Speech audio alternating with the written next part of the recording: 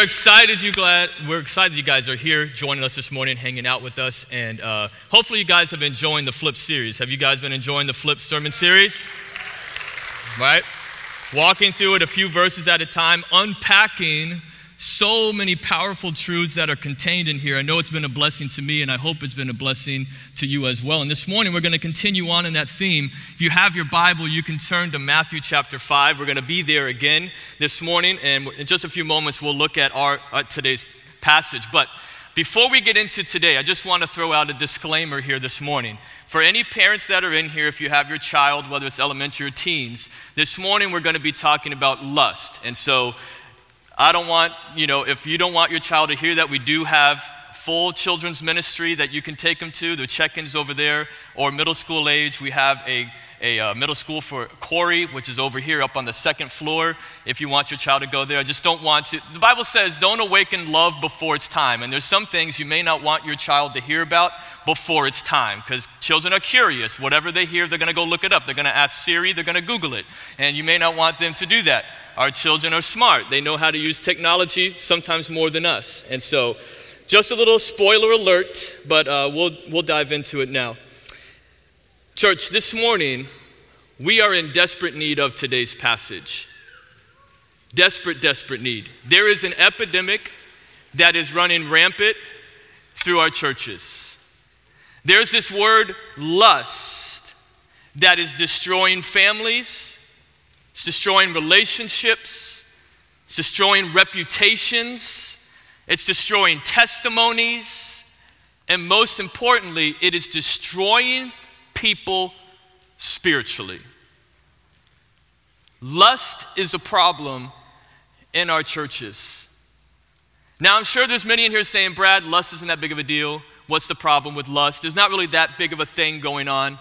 Well, I, want, I, I don't normally do this because it can be kind of boring.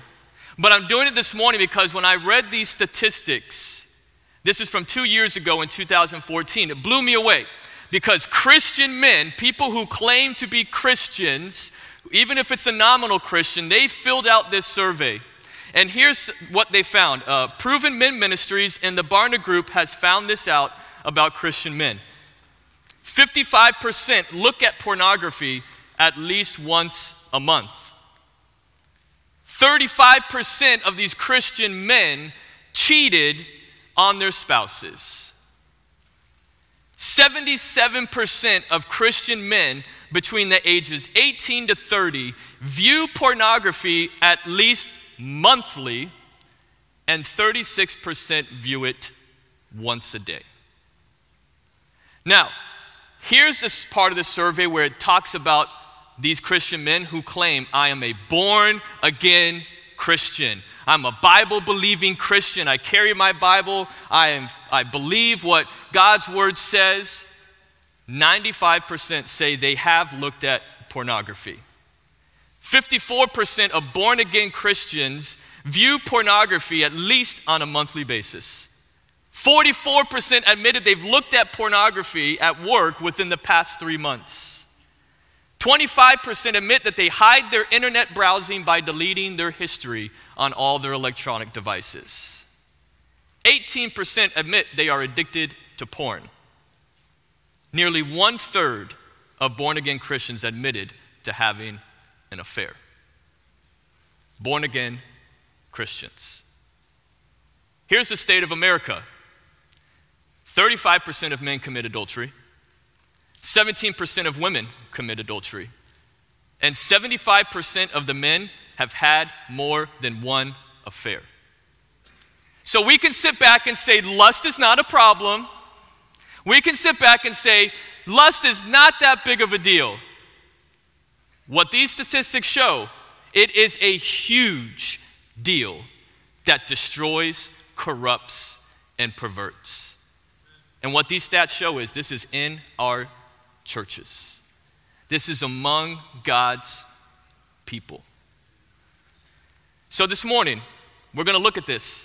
It shows us women and men are all prone to lusting. It's all prone to being taken down spiritually. We all struggle with it in some form or fashion. And in today's passage, Jesus is going to share four truths that are packed into these verses how we can stand victorious over lust in our lives. Let's read Matthew chapter 5, 27 through 30. Here's what Jesus says to his disciples You have heard that it was said, You shall not commit adultery. But I say to you that everyone who looks at a woman with lustful intent has already committed adultery with her in his heart. If your right eye causes you to sin, tear it out and throw it away. For it is better that you lose one of your members than that your whole body be thrown into hell. And if your right hand causes you to sin, cut it off and lose one of your members. For it is better, throw it away, for it is better that you lose one of your members than that your whole body go into hell. If you would, let's bow our hearts and pray this morning.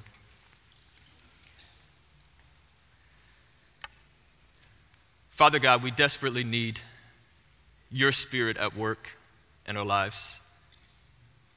God, as we open up your word, it is only your spirit that teaches, it is only your spirit that provides understanding.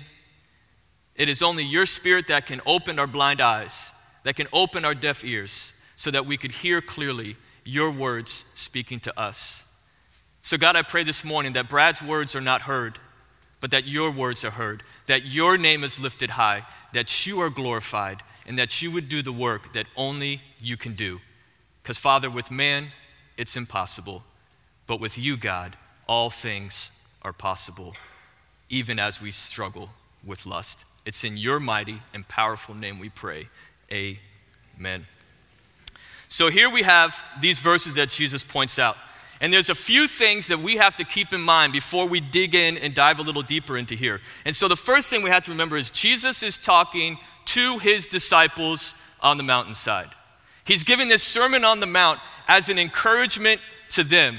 He's telling them, look, if you submit your lives to God, and you follow him with everything that you are, here is the work of grace that God is going to do in your life. These are the characteristics that will come out of your life. And you will demonstrate these attitudes and actions not based upon what you do, but based upon what God is doing in you.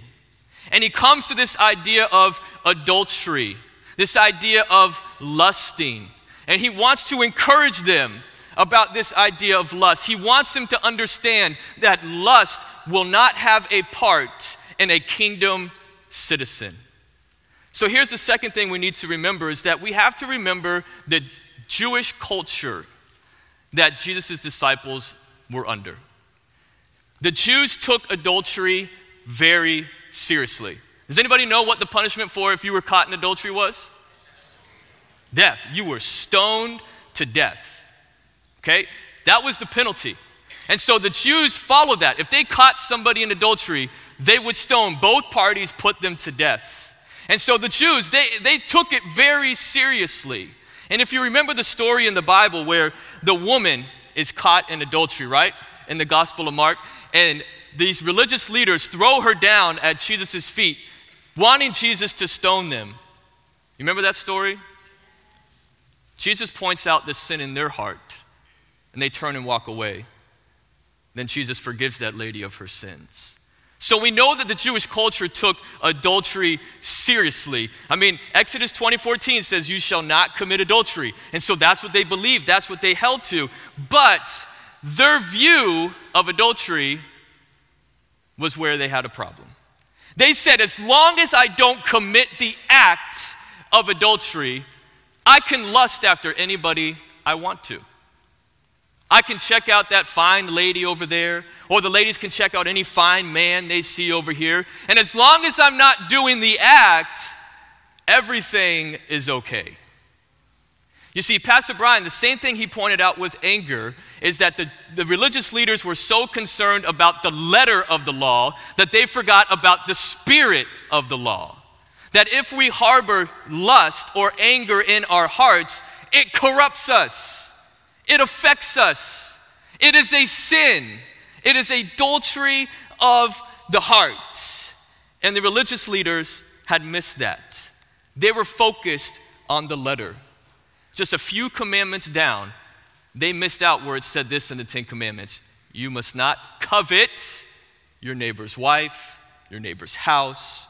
So there's this idea of lusting after something that you don't have. And they failed to see that that lust brought them down spiritually, that it brought hurt and pain and shame into their lives. Finally, some people in here might be saying, Well, Brad, good thing this is talking to married people, you're not talking to me. This is addressing everybody in the room. Primarily, it addresses those that are married. Secondarily, the Bible condemns sexual immorality. It, con- it, condemns sex outside of marriage. God's designed for it. So, lust is a problem for married and for singles. This passage is not just for married, it's for everyone this morning. Are you all with me? This topic is a force that needs God's redeeming grace to overcome. There's no other way that we can overcome lust. We're going to look at three powerful truths this morning. The first one I put in your notes, I said it this way I said, Lust is rooted in the heart. In verse 28, Jesus says, You've heard that it was said, You shall not commit adultery, but I say to you that everyone who looks at a woman with lustful intent has already committed adultery with her in his what? Heart. Jesus wanted his disciples to understand that the religious leaders got the law wrong. He wanted them to understand that as his kingdom citizens, they must live differently than the rest of the world. That there is a standard of living that God has called them to live. Ordinary people lust after everything. They lust after everything that their eyes see. And Jesus says, My kingdom citizens will not be this way. We will have God and honoring God before our, before our eyes. It'll be what we strive for, and we want to honor God with our sexuality. And as we move forward this morning, I want to clarify that lusting after a woman is not the same as committing the act of adultery. There is a difference. The act of committing adultery bears greater consequences. That, yes, sin is sin and it's all deserving of judgment by a holy and just God. We all agree. But committing the act of adultery is worse than committing the lust in your heart. But both, Jesus says, are punishable by God our Father. And so, just to clarify that before we move forward, what Jesus wants us to understand is that lust is rooted in our hearts. That's where it begins. If we do not take care of our hearts, if we allow our hearts to see and desire everything it wants, it will always lead us to sin every time.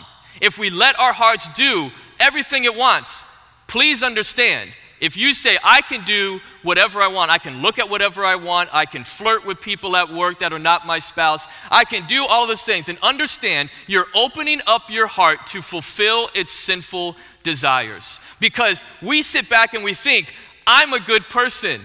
I don't do what other people do. I don't go around and gossip like some people. I don't murder. I don't steal. I don't do these things. And I'm, I'm a good person. But what the scriptures tells us is no, you're not a good person. Your heart is not a good heart. Here's what the Bible teaches us about our heart. The next thing you notice, I put it this way Jesus exposes our wicked heart. Our hearts are wicked. Well, how do I know that, Brad? In Matthew chapter 15, verses 16 through 19, here is what Jesus has to say about our hearts. Are you still without understanding? Do you not see that whatever goes into the mouth passes into the stomach and is expelled? But what comes out of the mouth proceeds from the heart, and this defiles a person. Check this for out of the heart come evil thoughts, murder, adultery, sexual immorality, theft, false witnesses, slander. What's the idea? If we don't guard our hearts, what comes out murder, adultery, sexual immorality, fornications, evil of all kinds. And we seem to think that, oh, our hearts are good, there's nothing wrong, I'm fine. No. If we don't check our hearts under God's grace, strength, and power, it will lead us to all unimaginable sins we never thought that we would ever commit. How many who has ever fallen in adultery sat back and said, I knew this was going to happen one day? No, what rings true is I never thought this would happen to me. But it does because when you let your heart run loose with lust, this is what comes out of your heart. Jeremiah 17 9 says this The heart is deceitful above all things and desperately sick. Who can understand it? Did you notice what he said? The heart is deceitful. Left to its own devices, it seeks out sin.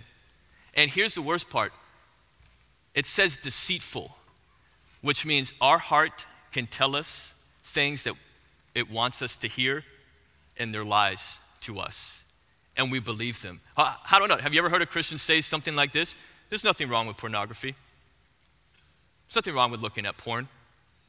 It's not going to affect my life. That's a lie from our heart. Or how about this? We're living together and having sex. We're not married, but it's no big deal.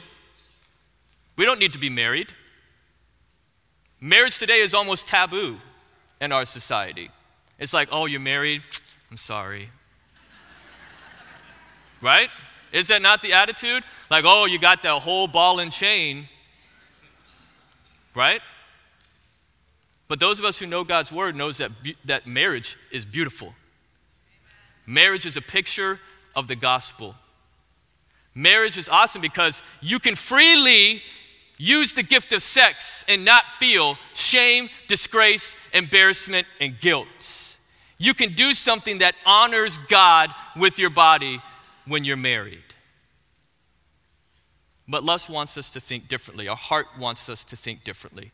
Our heart will lie to us to tell us there's no big deal. Or, well, here's this one. Well, God gave me these urges, so I'm just doing what God gave me biologically. No, God gave you the gift of sex to be used as He designed it, not the way that we feel. And our, our heart deceives us. It says, no, you can do that, it's no big deal. Your heart is lying to you. Those are not truths, those are lies. Jesus' word, God's word, reveals what is true about lust, not our hearts. And so, wh- why do I say all this? For you to understand if you don't guard and protect your heart and submit your lives to God, your heart is going to produce all kinds of evil when it comes to lust.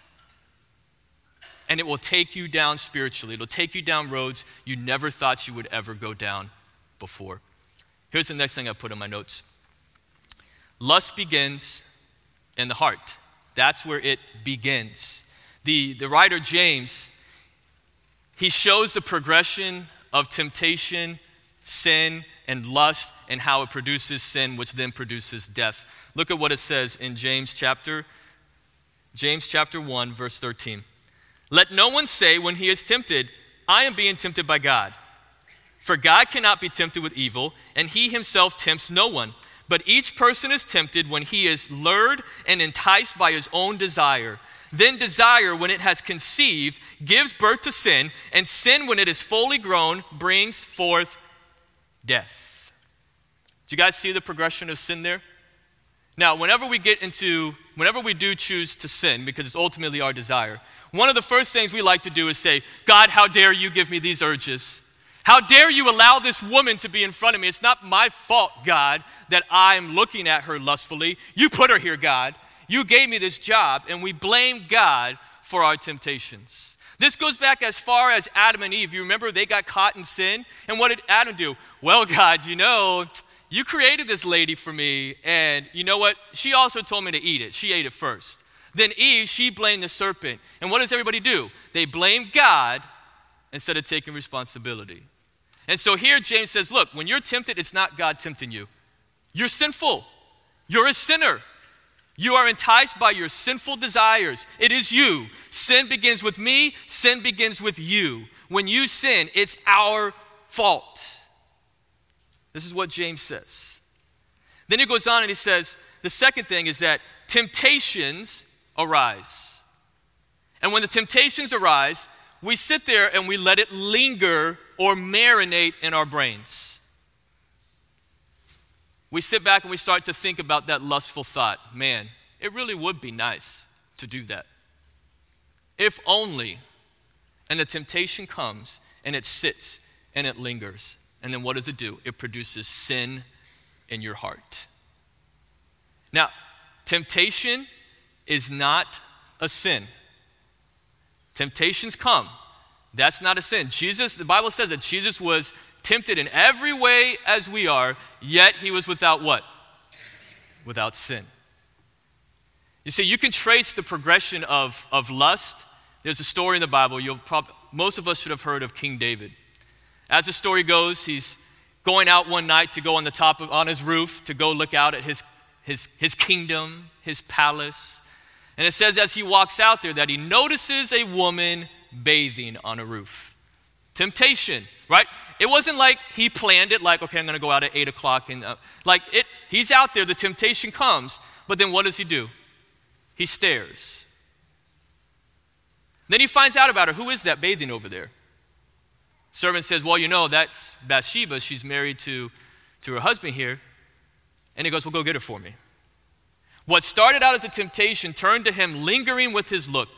Then that turned to lust. Even finding out she was married, it didn't matter at that point. His lust took over, his evil heart took over, and he slept with her and committed sin. You see, if we allow these temptations to linger and marinate in our brain, it will turn to lust. And temptations are around us. Do you not see them? We can look at media. The world knows that sex sells. Well, how do I know that? Have you guys ever seen those Axe body spray commercials? Use their shampoo, use their cologne, use their body spray, and what happens? You're gonna get all the girls in the world. All you gotta do is spray this on. So, what does it say? Chase after girls. Or how about this? Car commercials. If you buy our car, there's gonna be a hot lady for you. As soon as you drive around in your car, you're going to have it. Or I went to a Heat game recently. Do you know what they do at every intermission, it seems like, or almost every time out?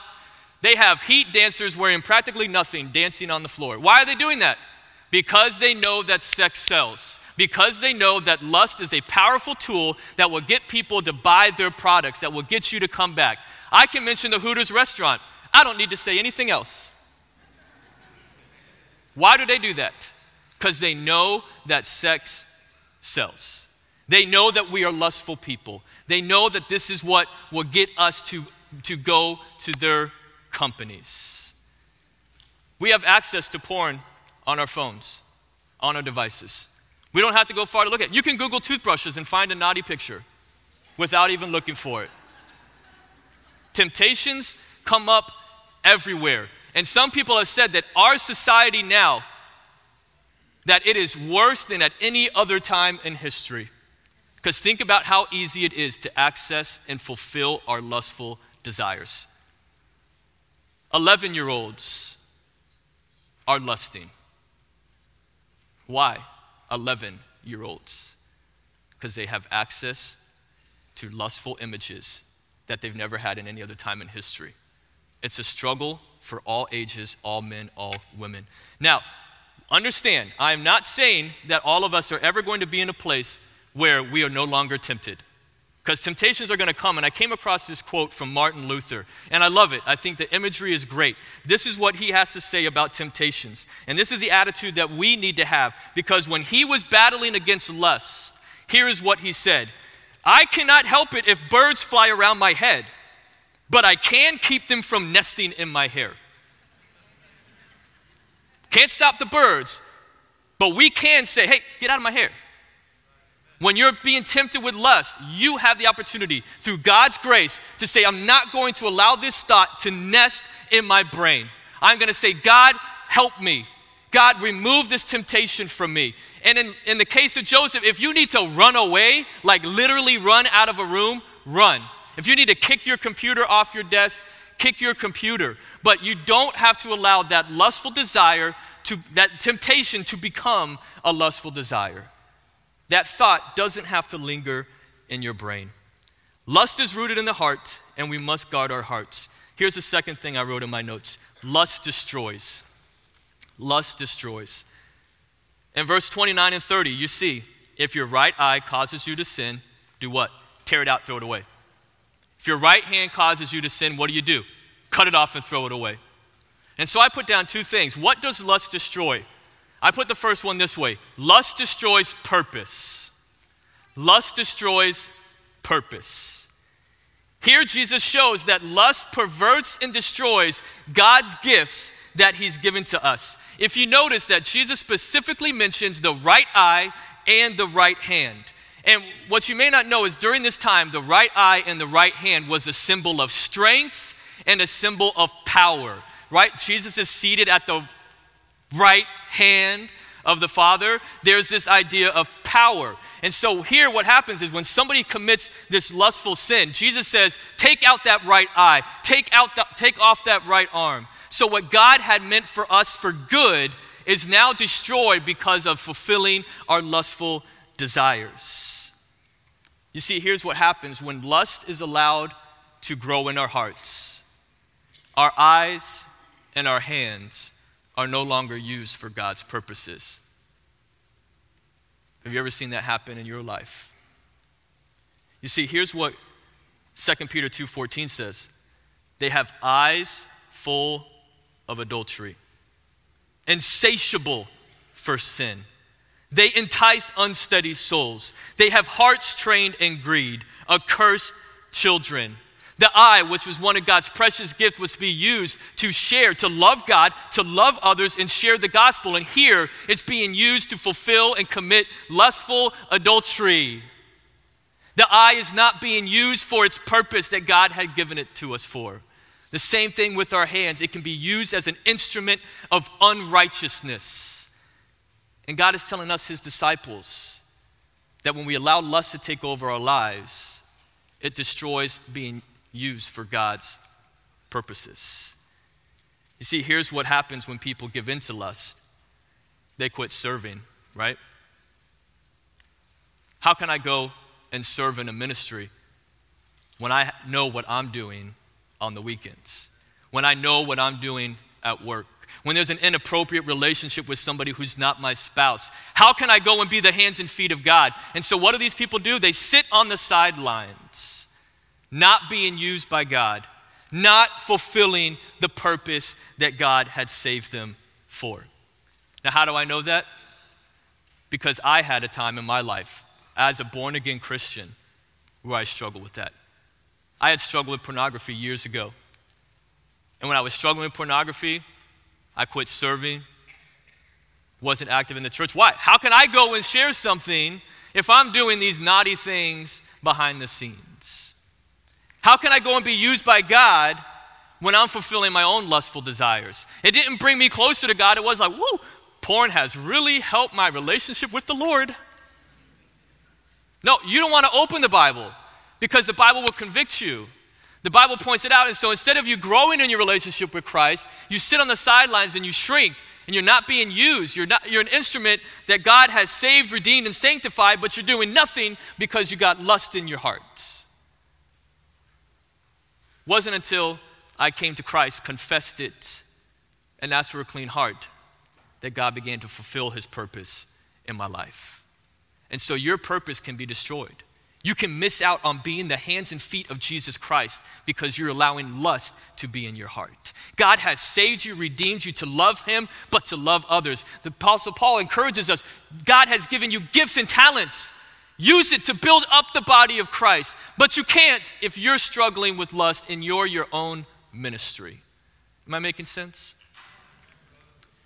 Romans 6:13 says this, "Do not present your members to sin as instruments for unrighteousness. But present yourselves to God as those who have been brought from death to life, and your members to God as instruments for righteousness. Proverbs 4 25, 26 talks about our eyes and our feet. Let your eyes look directly forward and your gaze straight before you. Ponder the path of your feet, then all your ways will be sure. God wants to use your eyes, your hands, your feet, who you are for His purpose, for His glory, for His honor. God can use you to reach somebody with the gospel who is lost and far from Him. But we ruin that opportunity when we allow sin and lust to take control of our hearts. Here's the second thing lust destroys it destroys our identity. Destroys our identity. Christ has called us to be his kingdom citizens. We are witnesses to the world. We bear the name of Jesus Christ. When you say, I'm a born again Christian, you bear Christ's name. We have an identity that is found in Christ. We are justified, sanctified, redeemed. We are children of a king. He has given us an identity. And lust can destroy that identity. How, how does it destroy that identity? Well, here's how it plays out to the rest of the world that's watching, for the rest of the world that's waiting for Christians, just like you and I, to mess up. Here's what they see when we allow lust to take control of our hearts they see a marriage designed by God to be a picture of the gospel, they see it broken and destroyed. It's not the identity of God's marriages. When they look at our lives, they'll see that God has called us for sexual purity before marriage, but there's many singles that are suffering pregnancies, STDs, shame, embarrassment. Why? Because they're giving in to their lustful desires. And that takes away from who we are. It brings a name, it changes our identity. Reputations, are they not destroyed when adulteries happen? You can Google churches and pastors who have failed because they allowed lust in their hearts. Takes away from the identity. This is not who God's people should be.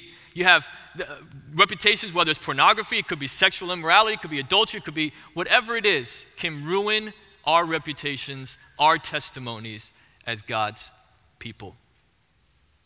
Here's how God's word describes people with lust 1 Corinthians 6 9. Or do you not know that the unrighteous will not inherit the kingdom of God? Do not be deceived, neither the sexually immoral, nor idolaters, nor adulterers, nor men who practice homosexuality. Does that sound like that describes God's people? It doesn't. But here's what Jesus says He doesn't want His people, His disciples, to identify themselves with what's described here. Right? Doesn't Paul write to the Corinthians, tell them, look, you guys used to do this. You've been saved, quit going back. This is why he's writing it. Do you not know? You are saved. This is not who you are. This is not your identity. Move away from your old life. Quit going back.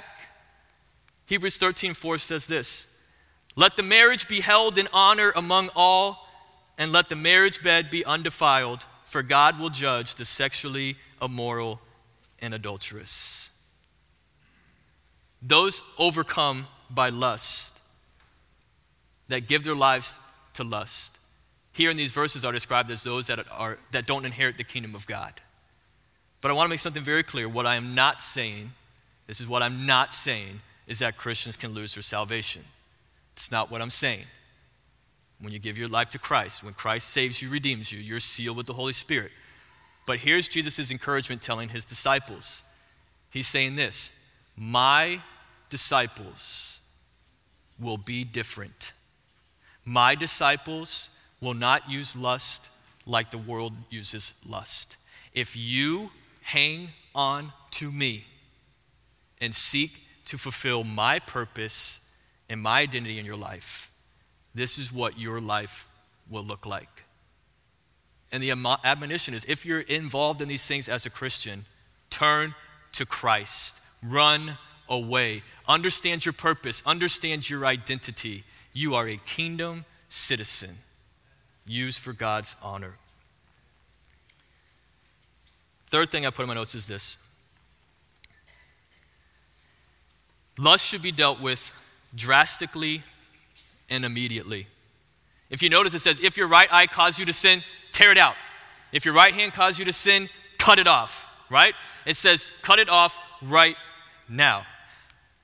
Next thing in my notes I put is, is this get rid of all stumbling blocks. Look at what he says tear it out, cut it off. That's a drastic measure that means whatever it is that your eye is looking at or your hand is doing that is lust, the Bible says to cut it out of your life. Notice what it doesn't say. It doesn't say, cut this out of your life when you're ready. It doesn't say, cut it out of your life when you're comfortable, right? Because sometimes we deceive ourselves and say, well, you know what? I'm going to wean myself off. I'm only going to look one or two pictures today Then maybe next month I'll start with just one. I'll do once a week. I'll start. No. Jesus says, cut it out now. It has to be drastic because the more we baby our sin, the more it's going to grow. It cannot happen if we don't make a drastic move. And this is what Jesus says make it drastic. Now, the right eye and the right hand, I alluded to this before. The right eye was always seen, the eyes were seen as God's precious gift to us, is it not? We can see all of God's creations. We can see God's handiwork. It's a gift of God, it's precious. And, and, and, the hand, Jesus mentions the hand, and his disciples would have understood why.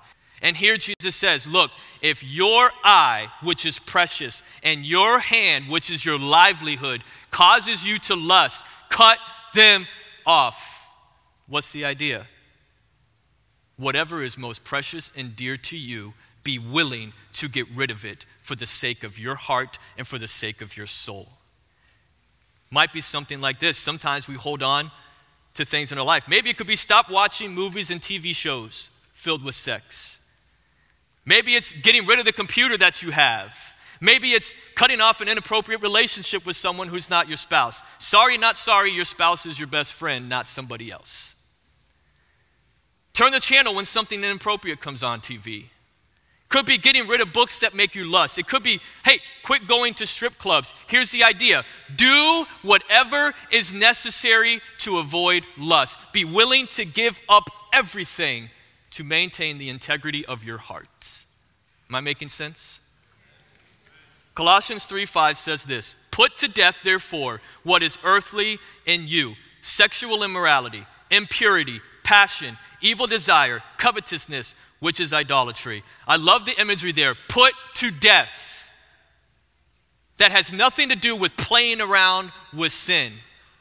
It says, put it to death. There's a responsibility, a mindset that we must have to say, I'm going to put to death these lustful desires so I can live as God's kingdom citizen. 2 Corinthians 7 1 says this Since we have these promises, beloved, let us cleanse ourselves from every defilement of body and spirit, bringing holiness to completion in the fear of God. See, we have to understand that our lust our sin offends a holy and just God. Our sin grieves the Holy Spirit. Understand that when you allow lust to breed in your heart, it offends God, our Father. Get rid of that. Get the cleansing you need so you can bring holiness and a fear of God. Hebrews 12:1 says, "Therefore, since we are surrounded by so great a cloud of witnesses, let us also lay aside every weight and sin which clings so closely. Every weight and sin. Get rid of it. Do whatever you have to do to protect your identity and purpose in Christ from being overtaken by lust. Job 31:1, he made a bold declaration in his life. He determined, he set a mind, his mind to this thought. He says, I have made a covenant with my eyes. How then could I gaze at a virgin? You see, he understood the power that lust could have in his life. So he said, I made a covenant to not look at anyone because if I look at them, I'm going to lust and I'm going to sin. He took it seriously. And he did something about it immediately. So when it comes to our sin, deal with it drastically, deal with it immediately. Here's the last thing in your notes, and we'll close with this. Because we can try all we want and all our might and all our power and all our strength and fail. Because if we do it all on our own, we're going to fail. So, how do we overcome lust? Because it's powerful, it's in us, it's deceiving, it's strong, it's an impulse, it's urging. What's the answer? It's like what the Apostle Paul says when he says, I know what I should do and I don't do it, and I know what I shouldn't do and I do it. So, who can save me this wretched man that I am? Who can save me from this body of death? Says, Thank Christ Jesus. Seek Christ for a pure heart. Seek Christ for a pure heart. This is how we overcome lust in our life. This is how we have victory over it. It is a every day, every moment depended on God's grace, not mine, God's mercy, not mine, God's love, not mine. It's dependent solely upon God, saying, God, Christ, help me. Give me victory. Lead me not into temptation. Deliver me from the evil one. If we, we read those verses, but sometimes we don't pray them. But Jesus is saying, pray these verses. This is how you pray. Lead me not into temptation. Deliver me from evil. And what is that doing? You are reliant on God's provision and strength for your life, not your own. Ezekiel 36 26 says this, and I will give you a new heart and a new spirit I will put within you. And I will remove the heart of stone from your flesh and give you a heart of flesh. You see, it is God working in your heart that brings change. It's the only thing that can bring change in your life. Scriptures say you have not because you ask not. And sometimes we try to just deal with lust on our own and totally bypass God, the Creator, who spoke life into existence. He has the power to change you. After David sinned with Bathsheba, he confessed his sin. And in Psalm 51, you can read that later. You can read the whole thing on your own. But after he sinned, he confessed it to God. He realized that he had blown it, that he had messed up, that he allowed lust to overtake him and commit sin. And look at what he says in Psalm 51, verse 10 Create in me a clean heart, O God, and renew a right spirit within me. It's a beautiful line of poetry there. Because number one, it shows David's dependence on God. But number two, it shows the graciousness of God to create a clean heart and to renew a right spirit when we've blown it. Doesn't matter how many times we've blown it, the beauty of the gospel is that God's grace and love is forever to his children. That yes, when we sin, God will discipline us. God will chasten us. Just like if your child acts up, you're going to punish that child. But it's for the love that you have for your child. The same thing with God. And here, David understood that when he asked for God, God will give him a clean heart. God will renew a right spirit within him. That guilt, that shame will go away. That God will set you with a purpose and an identity. That you will live as his kingdom citizens. It's a beautiful picture that our God, no matter how many times we fall, God will lift us up. I know Pastor Brian a few weeks ago mentioned that passage where it says, Though the righteous man may fall seven times, he will get up again. It's because the love of our Father for us and the beauty of the cross is that victory over lust. See, we sit back and we think that maybe this is impossible. We could never beat this. That lust is something that always comes up. Maybe I should just throw in the towel and give up. No, no, no. Scriptures say we are more than conquerors through Christ who gives us strength. I can do all things through Christ who gives us strength. And so, too many times we walk around defeated. And we're like, well, nothing's going to change this time. Well, it's not changing because you're trying to do it. But with God, all things are possible. Victory over lust is possible.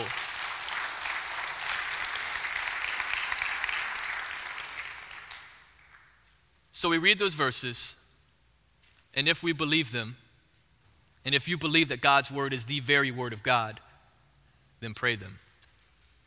Create in me a clean heart, O God, and renew a right spirit within me. And it's not a one time prayer, it is an everyday, every moment dependent upon God. And when you do that, watch and see how God will give you victory, how God will give you victory, how God will set you free from the shame and the pain of lust.